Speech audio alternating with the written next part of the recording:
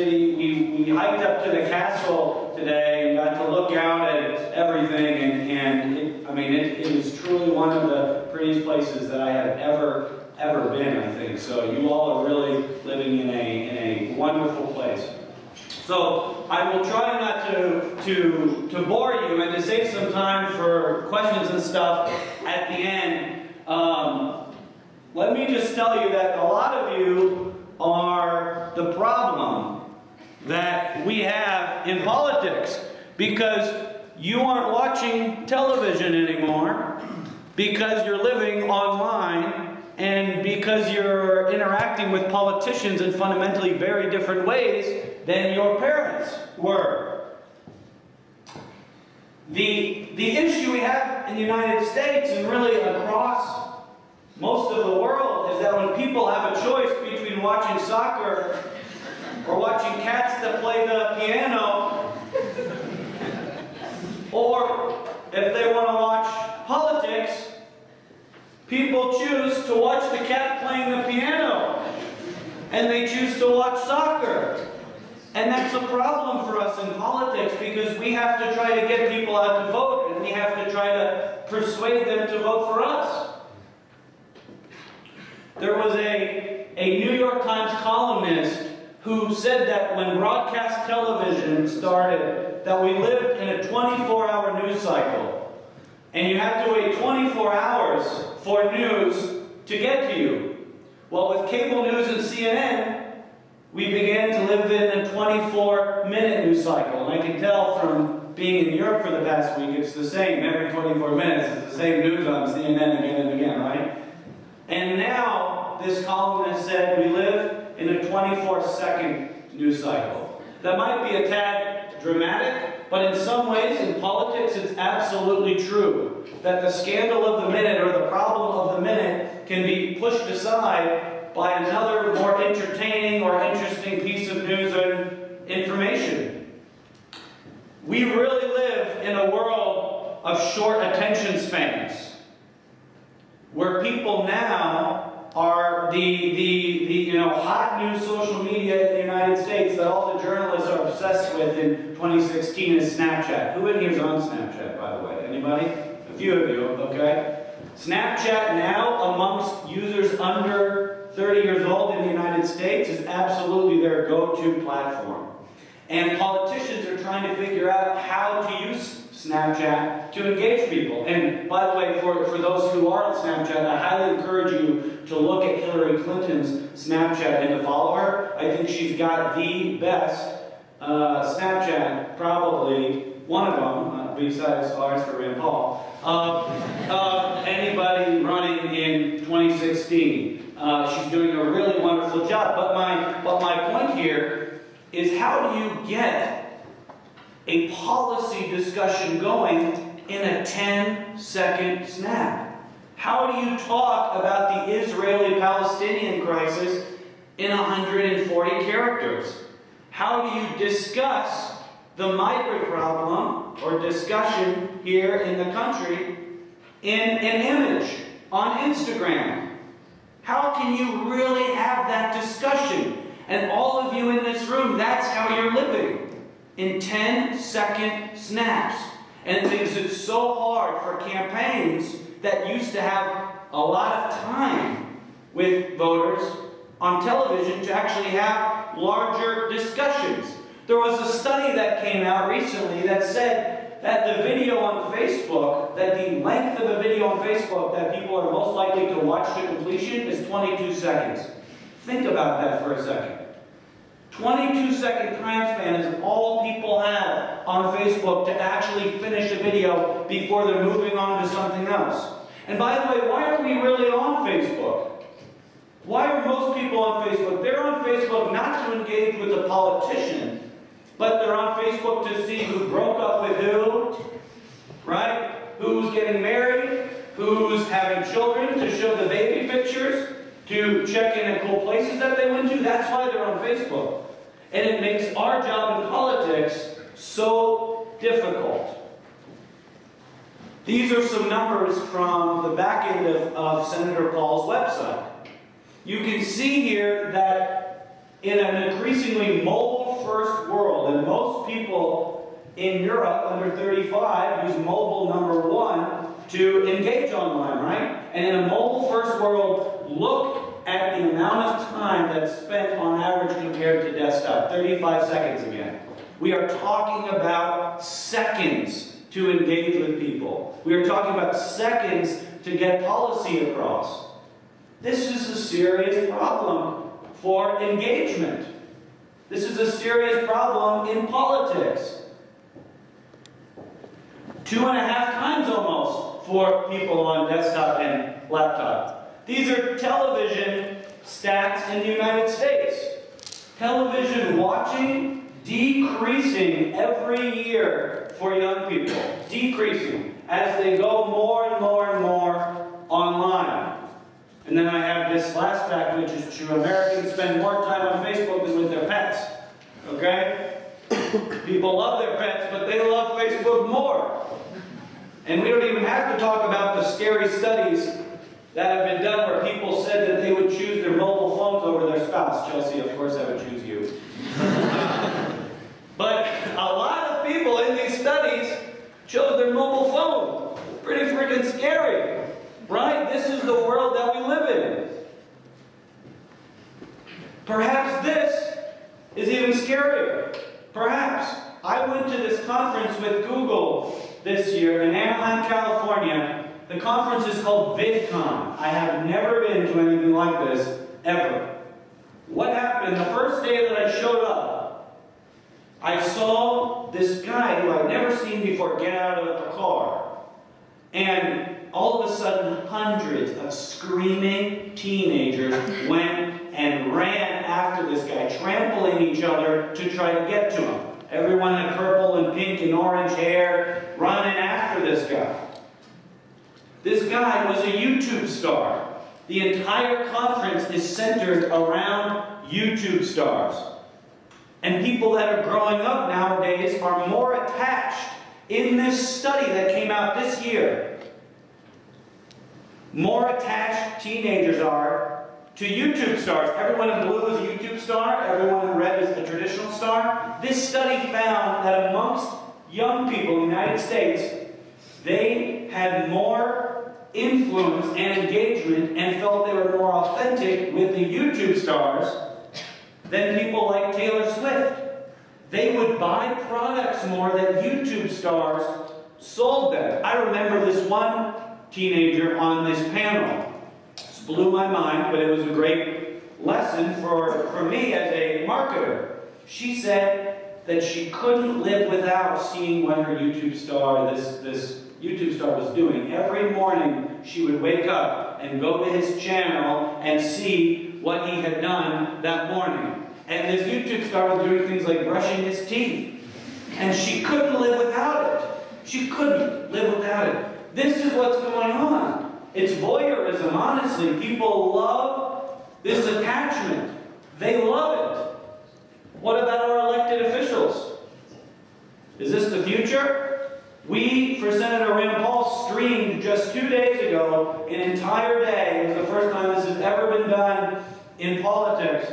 From when he ate breakfast to through the Democratic debate, we streamed the entire day of him on using Ustream and on Facebook Mentions, which is a, a new live stream tool on Facebook. I think you're going to see more and more politicians use the internet, use live streaming, post videos, maybe none of them brushing their teeth, right? But at soccer games, talking to voters, carrying GoPros around. One of my clients is a senator from Ohio, and one of the coolest things I think as a millennial that I've seen him do is he goes on these bike rides across Ohio, and he carries a GoPro on his helmet. It's pretty cool, and there's some really cool video content that is made from that. That, I believe, fundamentally is what voters our age pay attention to. There's a wonderful book that I send to all of my clients. It's called Post-Broadcast Democracy. It's written by a Princeton professor named Markus Prior. And in it, he talks about the problems that we have nowadays. He talks about how my grandparents, they went home after work and they only had three TV choices in the United States ABC, CBS, or NBC. And the whole country was on the same amount and type of news because they could only choose from one of three choices. Think about in this room, if I went around and asked each of you individually what's your number one news source, how many different news sources we would get. A lot more than three. A whole lot more than three. and Prior in his book, he did an experiment. And the experiment showed that when people have a choice between news and watching nothing, they choose to watch news and interactive news. But when they can see Kim Kardashian or watch Bayern Munich or watch Dirk or watch something else, watch, I cannot tell you how many different European pop star shows I've seen since I've been over here in every different language. People are choosing to watch those over engage with politics. And it's caused a big gap in political knowledge and information, a much bigger gap than we ever used to have previously. There's a communications professor at Virginia Tech. He's done a bunch of studying on the internet and found, which this just makes sense, but we need a study to prove that it makes sense, right? That information that's interactive and engaging, voters are more likely to internalize. This is centered to everything that we're doing in 2016. This is why the stuff I'm going to show you, like videos that engage people, like quizzes online, like puzzle games, this is what this is the future of political advertising. It's not shoving a 30 second television ad at you that now you just skip over to get to other content. It's engagement. Why else does digital matter? You might not believe this is true, but after the 2012 election, there was a bipartisan study in the United States, and it found that the internet is the number one trusted source of political news and information. People trust what they see. Over 50% of people on Google click on the first link that they see. 70% of people don't go past the first page when they're finding out more information. People just click on whatever's number one. And most people, a lot of people, don't even know the difference in a paid ad up there and an organic search result. When, when we're actually paying to show you something that is our own truth on a campaign. A lot of voters 41% in a Pew study didn't know the difference. They didn't know that it was a paid ad. They believed that as truth. This could potentially be very scary because everyone has their own truth. Every campaign is producing its own truth. The internet does matter in terms of voter turnout. People ask a lot of times, does this all matter? What's a real impact? What's the real impact, Vincent? Does this really matter? This study was done in the state of California with Facebook and the University of California, San Diego. It's one of the best studies on voter turnout in the internet. What they did was they split tested the state into two, essentially. Half the state got this I voted sticker, and the other didn't. And what they found in the study was in the parts of the state that used the I voted sticker, where people used it, voter turnout was increased. That's powerful. And that's one social network and one sticker. It's really powerful.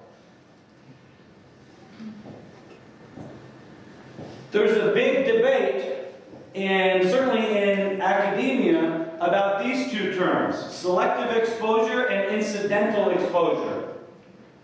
And I want you all to think about yourself and which one you think better fits you in terms of impacting your political preferences. What the first one says is that you go online and you seek information that purposely reinforces your views already. I fall into this. I'm a Republican. Guess where I go to read online? Washington Post. The Post? No way. That's a lit paper. No way. Fox News? Fox News, thank you. Fox News. The only fair and balanced in the, in the United States. Okay? Fox, Fox News. Liberals, they go to BuzzFeed, which I go to BuzzFeed too, but for the cat case. So we're going to talk about later. Okay? BuzzFeed, CNN, MSNBC, people go online and they read things like zombies that just tell them what they already believe. It's scary. This study by this professor actually at my university, the University of Texas, showed that doing this polarizes people, right?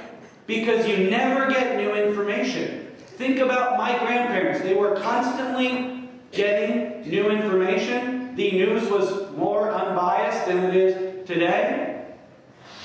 Well, now you just go and seek information that you already believe. This makes it so difficult in politics in 2016 because we're actually trying to win new voters over. This second term incidental exposure says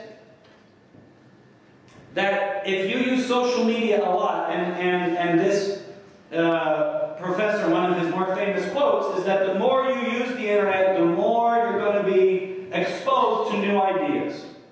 So he found that the amount of time people spent online corresponded to the amount of new information, it makes sense, that they're receiving about politics. Think about your friends on, on Facebook. Sure, if you're conservative, you might have some liberal friends. If you're liberal, you might have some conservative friends. If you're like me, you see a liberal post and you hide it, but that's just me, okay? So this incidental exposure talks about that. Think about the impact from a campaign sense, where we're trying to get everyone on Facebook trying to get content into the news feed, right? That's where all that's this is where all interactions happen on Facebook is in this news feed. All of them. And mostly they happen on mobile. So how do I get my client into this newsfeed? I either pay for it, like Southwest Airlines did, right? I either pay for an ad, or I have to have content that's sticky, that's engaging, that you in this room are going to share. Because if you're not going to share it, I will never get it seen, and then I can never actually reach voters and try to persuade them.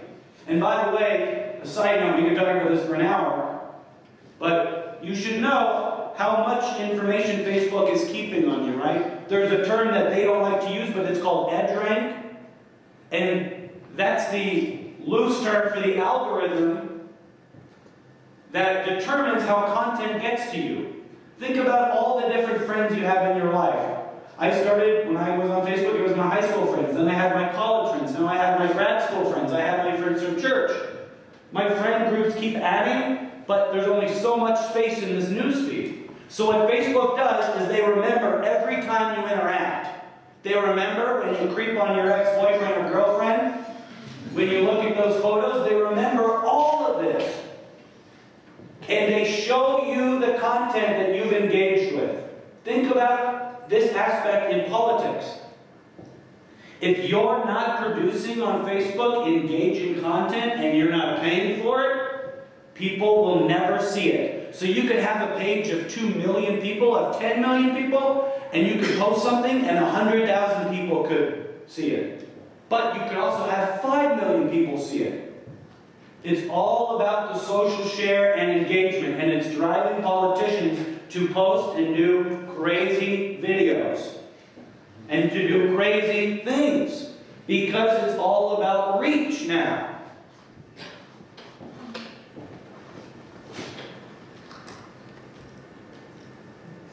So,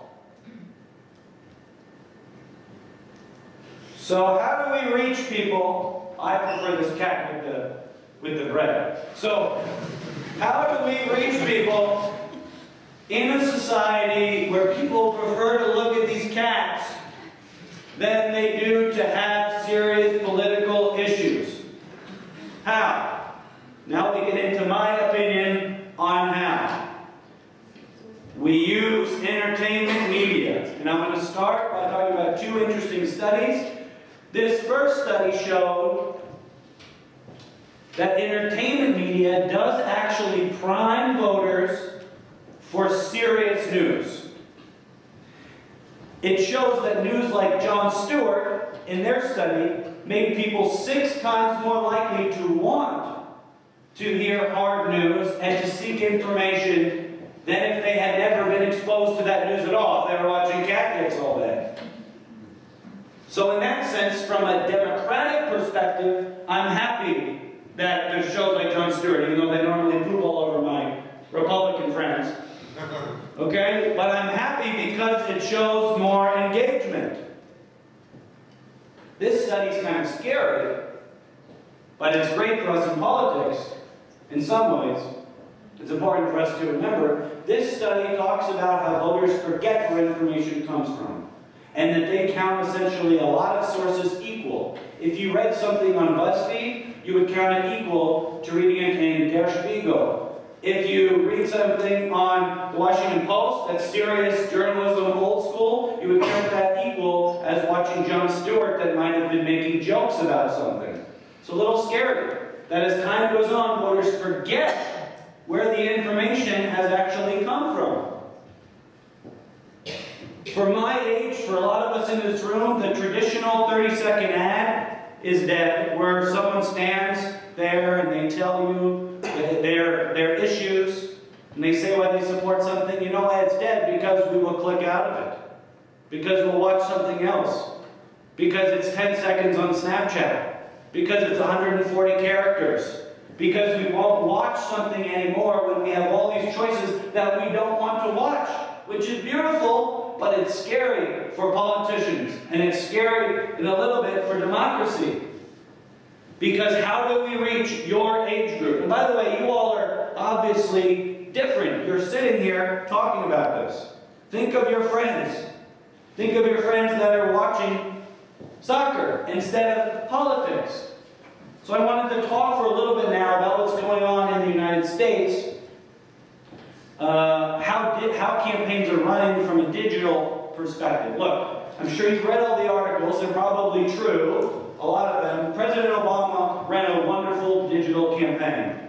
And as somebody who works in this field of digital politics, I think without him having done such a good job as he did, Republicans would never have really had the fire to catch up to where they are now. His digital team is dispersed.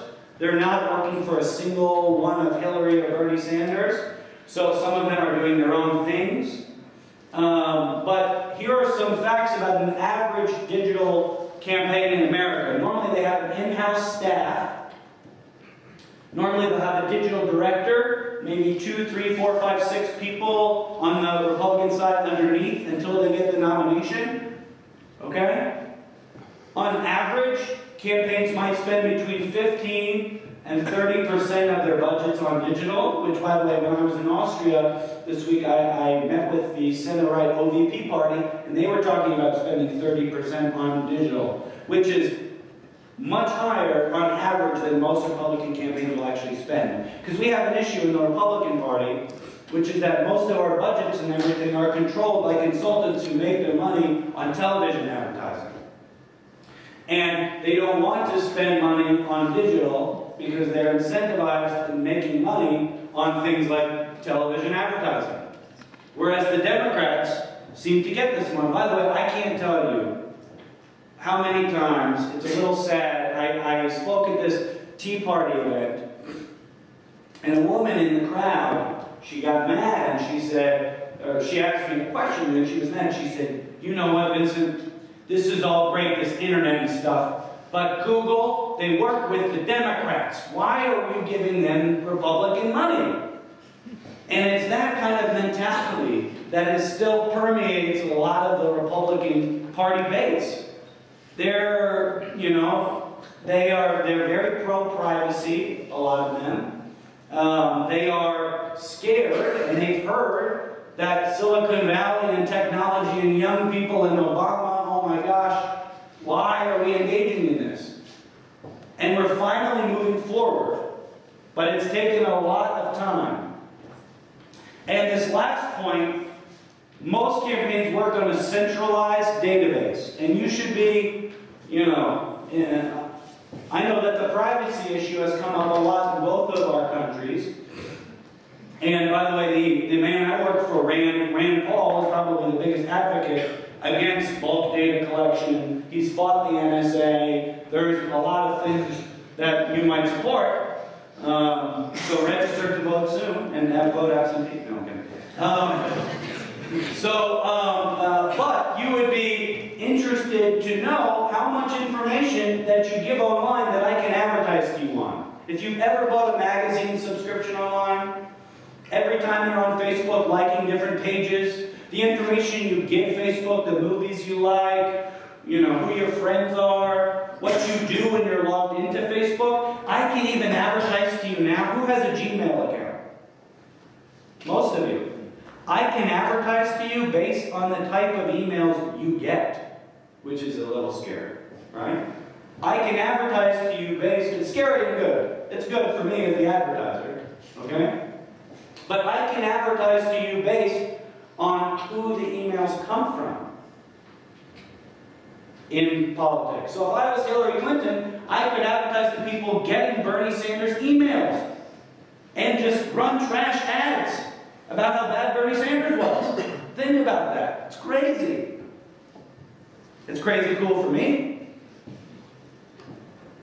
So, what is the future of, of all of this, of entertainment media? I want to show you a couple examples.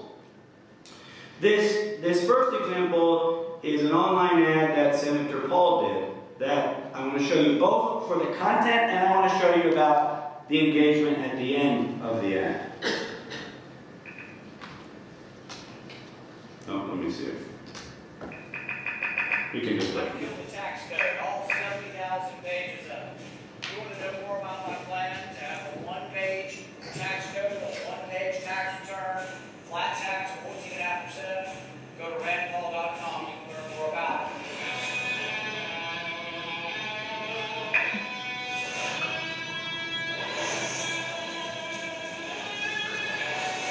you seen a politician in Germany take something to a wood chipper? And then chainsaw your tax code?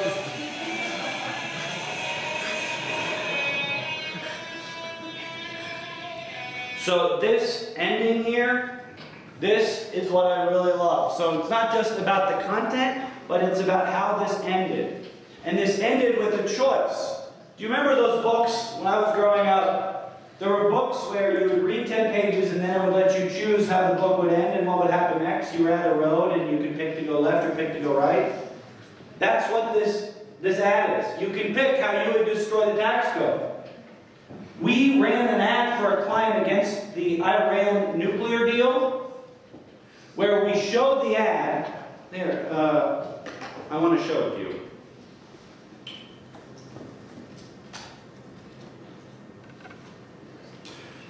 So this this ad will actually here. I'll just show it to you and then I'll talk about it. On July 14th, 2015, the United States signed a bad deal with the Islamic Republic of Iran, a country that burns our flag and chants death to America. Congress has 60 days to oppose this bad deal. Leading Democrats are already protesting this deal with the number one state sponsor of terrorism. Support or oppose this bad Iran deal? So look, here's why I didn't expect a laugh from this serious topic. But here, here's, here's why I like this ad. Think about this from a persuasion perspective. At the end of this, if somebody clicks they support the deal, we take them to more information on why the deal is bad and continuously persuade them. If they oppose the deal, we take them to a website where they can call their, their United States Senator.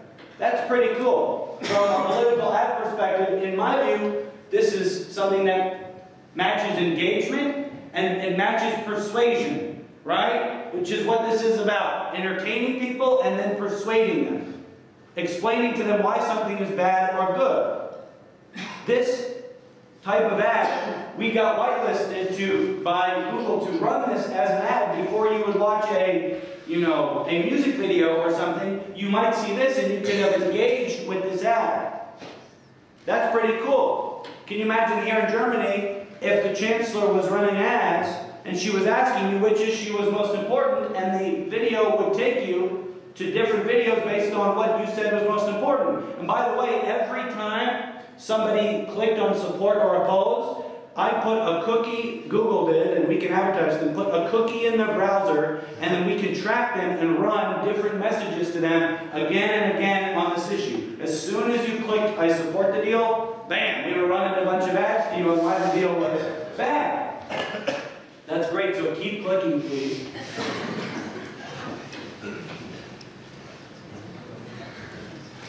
I want to show you this. This, this might be one of the my things I'm most proud of that we ever did in, on our on on uh, online. So I do practice what I preach. We brought the the cat GIF to American political negative advertising. So this is a website that we built called DewFeed against one of my clients, Dan Patrick, uh, against his opponent. So I'll just let you read this. But but this, let me explain what this is doing first.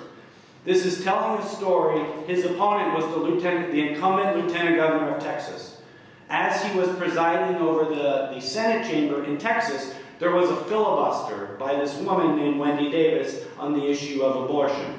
And my client, Dan Patrick, uh, he was trying to bring light to the issue that the lieutenant governor, the incumbent lieutenant governor, lost control. So that's what's going on. I will, I will let you read this.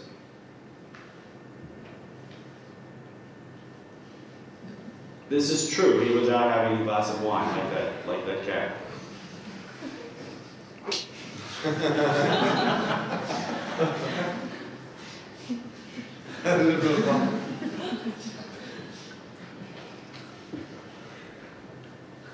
the,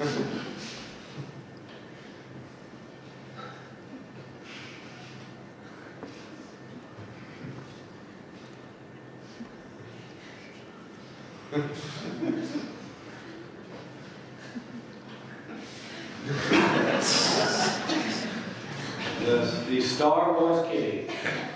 So this was very in terms of generating traffic, in terms of looking at the time. You remember when I showed you the time on mobile device earlier, 35 seconds? This kept people on this website for a long amount of time because it was engaging. This generated a lot of free attention for Dan Patrick. It generated a lot of visits. People were passing this around, even older people. Older people love this.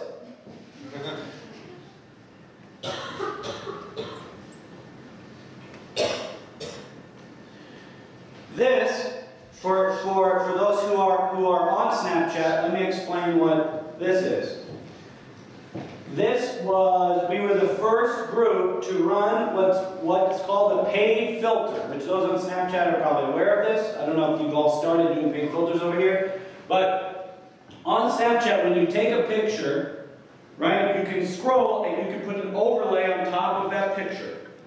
So if I took a picture of myself, I would scroll to the right or left, and it would give me options of something to go on top and be layered on top of that picture. We ran this on Snapchat for 24 hours around the Ohio Republican debate. This filter on the left. We asked people to post pictures how they felt about the Iran deal. That was all that it said. Those pictures are, are from people that actually use this. In 24 hours, in, in just the state of Ohio, 178,000 people used this filter. In 24 hours, just in the state of Ohio, 178,000 uses of this filter. I think it's one of the best amounts of ad money that we've ever spent for a client. Because also, think about this. I'm trying to actually stop this deal, and my client wants to stop the deal. What's more powerful and more engaging and interesting than getting something from your friend like this? And how else am I going to reach these people? People that are younger than 35.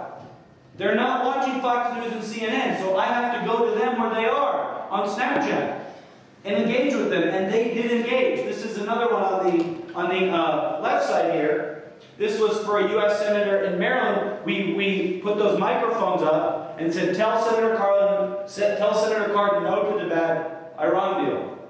We had over 100,000 people use it there too. This is cool. And in my opinion, this is the future of advertising, where political campaigns and organizations and special interests and issue groups are putting you and you're engaging in the actual content. People did it. 178,000 uses in 24 hours. Also, letting supporters create content. We play a game in the U.S. called paper football, where you print out a football, and then you flick the football through. People put up their hands like this, and a lot of people do it when they're drinking beer and stuff. So you just put up your hands and you flick the football through. Well, what we did around the Super Bowl for Senator Paul, we asked people to print this out at, at home. We, we just made this paper football for him. We posted on Facebook. We said, print it out. A lot of people did. We asked them to send in pictures of them doing it. And we were engaging with them and retweeting them and posting them on Facebook. It was generating attention for the senator. It was generating website visits. It was generating cookie pulls. It was generating email addresses from which I could target people and we can advertise on an individual level. During the first debate, the senator got into an argument with Chris Christie, the governor of New Jersey, about the NSA spying. We asked people on Facebook to draw in a cartoon of what happened and send them in. This is pretty cool. Politicians and campaigns need to more and more use their supporters to help generate content, to be part of the campaign, to get them engaged, to get them entertained. We crowdsourced the, the uh, Senator Paul's t-shirts on his store. We asked people, help design his next t-shirt. Submit your designs. We had hundreds and hundreds and hundreds of designs. Then, the campaign picked like 10 of them, and we posted them again and said, vote for your favorite ones. And they voted for this first one. The NSA knows I bought this Rand Paul t-shirt, right? that came in number one. Those are our supporters. They're, they're pro-privacy. With the government not spying on us illegally, right? So, this, this set you can buy all three in our store right now. Uh, actually, I don't think you can buy them in Germany. You have to be in America because they're considered a campaign donation. Um, so, these are one of the best-selling items in our store. Now, and it makes sense, right? Because people helped create them. How cool is it if political parties and campaigns go to the people who are supporting them who are going to wear the t-shirts. I can't tell you growing up how many itchy, scratchy, weird t-shirts that I was given on campaigns when I was volunteering that I never wanted to wear. I wear these shirts because I help vote for them, right? You're actually voting for the stuff you want to wear. You're voting for the campaign logo. For Senator Ted Cruz, who I worked for for three years, we let people crowdsource his bumper stickers. I still see them all over Texas. It just makes sense. More people are going to buy something that they helped to create. Hillary Clinton is doing something really cool.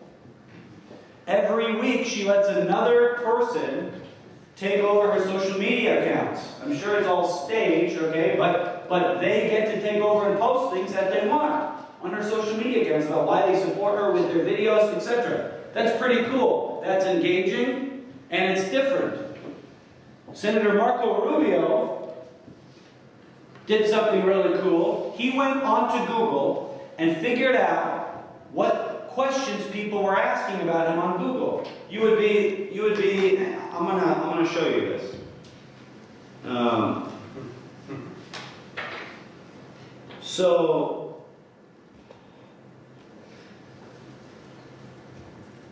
oh, so Google sends around a list of, where did I send it to? Is it all done or something? Um, okay, where did I find? Might be, okay, I think, okay, here it is. What are the top questions for each candidate? Look, this is what people in America are typing into Google. How tall is Jeb Bush? How old is Jeb Bush? What is Jeb Bush's real name? Where did Jeb Bush go to college? What is Jeb short for? So two questions of the top 10 on Jeb Bush are about his name. Crazy. Senator Cruz. Is Ted Cruz Canadian? Senator Cruz was born in Canada, actually. What religion is Ted Cruz? How did Steve Jobs fleece Carly Fiorina? Is Carly Fiorina a feminist? How much is she worth? Okay, let's look at Rand, Rand Paul. Where is Rand Paul in the polls? Is Rand Paul a doctor? Is Rand Paul a libertarian? What does he stand for? Marco Rubio. Why are Marco Rubio's chances rising? Where did Marco Rubio go to college? Is Marco Rubio Hispanic? what nationality is Marco Rubio? Okay, these are the questions that people put into Google. And what Marco Rubio did, which by the way, oh, let's look at Donald Trump's just because it, will be fun. Who is Donald Trump's wife? How did Donald Trump make his money? How tall is he? How old is he? How much is he worth? Very important when you're deciding to vote for, right? How much is he worth? If you listen to Mr. Trump, it's very important. So, so what? Uh, so what Marco Rubio did was he looked at this, and guess what he did? He answered the questions on video that people were asking, even silly ones. This is cool though. That's cool. That's engagement because whether it's good or bad, this is what people are typing into Google what they want to know. This is what voters want to know. And by the way, I can't tell you how many times voters also do things like misspell people's names. I remember when I was working for Senator Cruz, about a fourth or a fifth of our website uh, search traffic came from people typing in his last name spelled like Tom Cruise and not Ted Cruz, which just makes sense, right? You don't know, you hear it. But it's important for us in politics to know all this. This is what voters are caring about. Two of the top ten questions of Jeb Bush were about his height. So that's what I have for you. I want to take questions, um, but I, I hope that you gain from, from that that it's really, politics is changing so rapidly in terms of the way that, that politicians, both in elected office and out, are engaging with voters. The Speaker of the House of Representatives in the United States, this is on his website. This is not just campaigns that are doing this. Speaker Boehner attacked President Obama with Taylor Swift GIFs. this is American politics, ladies and gentlemen. Taylor Swift, cat memes, Snapchat. I don't know what video that's from, but this is on the official speaker website. Not running for office, attacking Barack Obama with Taylor Swift GIFs. I'll just leave you with this. Thank you.